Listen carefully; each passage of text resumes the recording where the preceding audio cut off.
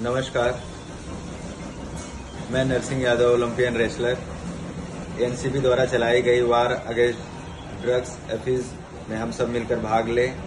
हम सब मिलकर शपथ लेते हैं कि हम ना ड्रग्स लेंगे और ना लेने देंगे। हम सब मिलकर भारत को नशा मुक्त भारत बनाएँगे। आओ, हम सब मिलकर बोले से यस टू लाइफ से नो टू ड्रग्स जय हिंद, जय भारत।